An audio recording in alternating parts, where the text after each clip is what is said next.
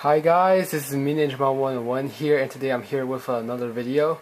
Today an opening video. I know I haven't posted in the last month and a few weeks.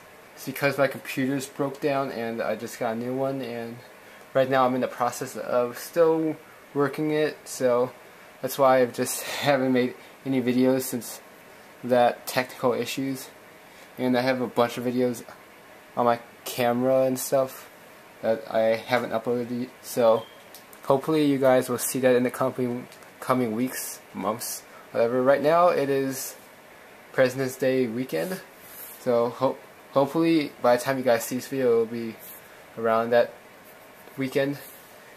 And yeah no uh, four day weekend for me this weekend and decided to pick up some stuff and I had some stuff that's been sitting around for a few weeks that I've been wanting to open First off, I went to Barnes & Noble this week and picked up Yu-Gi-Oh! Zexal Volume 4. Yeah, this is kind of old. Per se, it's a month. Released last month. Just got this this week.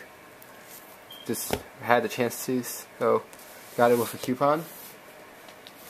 And, and yeah, a few weeks ago I got the Shonen Jump pack number one to open up.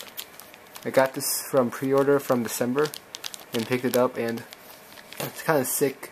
During the few weeks I picked these up so I thought that would open both these up when I got better which is right now and yeah. I'm just gonna open both of these up in this video. Might be a rather long video for all you guys watching since it already it's almost two minutes. And yeah Yu-Gi-Oh! Zero Volume 4 I've been thinking about trying to get every Yu-Gi-Oh volume from the original to the Yu-Gi-Oh Duelist, Yu-Gi-Oh GX, Millennium World, in 5Ds, and the Seal. So, so far I've completed all of Yu-Gi-Oh R manga, one, volumes 1 through 5. So, maybe in the next coming years I'll be able to get more of these and complete a whole set of these because Yu-Gi-Oh is pretty awesome. And I know other people like collecting other series, but I want to collect Yu-Gi-Oh. So, took half a minute to get this off, but whatever. On the cover, there's Shark and, uh, no idea who that is, but in the back, you guys see, and get to the card. So it's a ultra rare number 47 Nightmare Shark. Looks pretty awesome. Let's get this open. So Yu-Gi-Oh! Zexal is coming to an end, which some people is unfortunate to me. It's alright. I didn't really watch. I started watching it at the beginning, but I don't know. I wasn't really too excited when I first heard of it since I was like, oh, there's more Yu-Gi-Oh! But yeah, it's become what it has. And yeah. Here's the card number 47, Nightmare Shark. Effect, yeah, camera. Should get a new one, but in due time, I guess. Two level 3 monsters. In this card, special summon, you can attach one level 3 water monster from your hand or your side of the field to discard as an XYZ material. Once per turn, you can detach one XYZ material from this card and target one water monster you control. This turn, your opponent cannot. I mean, this monster can attack your opponent directly. Also, other monsters cannot attack, so it's alright. And on the news of Yu-Gi-Oh! Zexal ending, it's kind of sad, but had to go eventually. For Yu-Gi-Oh! Arc 5, I'm excited for it as, as now. It looks already better than Zexal, which is pretty awesome. But more importantly, I kind of was expecting them to end Yu-Gi-Oh. Not saying that it's negative, but just it's been around so long, and I don't want it to become like Pokemon where it just goes on non-stop.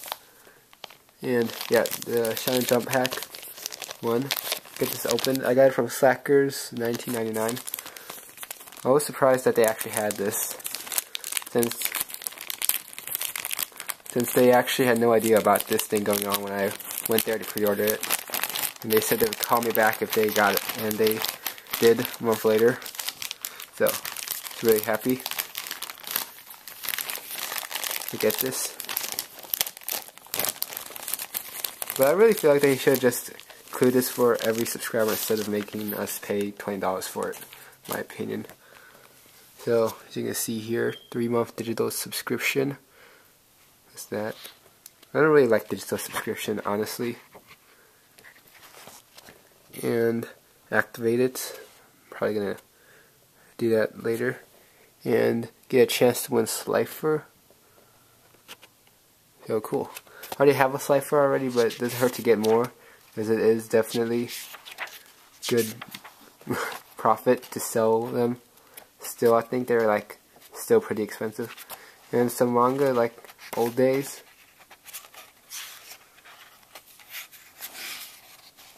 And yeah, let's see. Some combos, I guess. For that new recent theme support.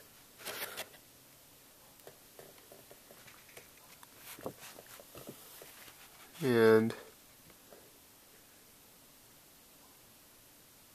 yeah, it's talking about advantages of being subscribed to Shonen Jump and activate for a chance to win. Uh, before looking at that, here back here is Battle Pack Round 2 War of the Giants. Pretty cool. I'm not going to get any myself, but definitely awesome and sounds profitable from what I've seen so far of it. Let's get this off and... Huh.